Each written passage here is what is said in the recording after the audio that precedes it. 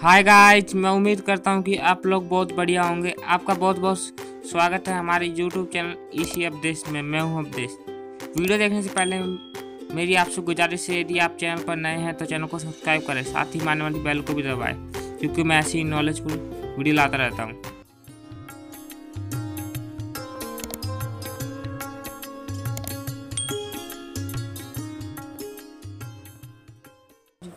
आज हम जानेंगे कि आर एस एस की फुल फॉर्म क्या है?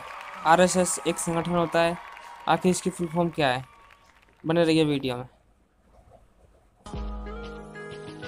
हमारा पहला वर्ड है आर, जिसका मीनिंग होता है राष्ट्रीय।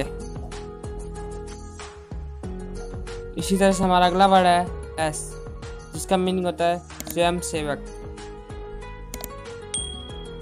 और हमारा आखिरी वर्ड है एस, जिसका मीनिंग होता है संघ। और यदि एक साथ देखा जाए तो आर एस एस को इंग्लिश में राष्ट्रीय स्वयंसेवक संघ कहते हैं।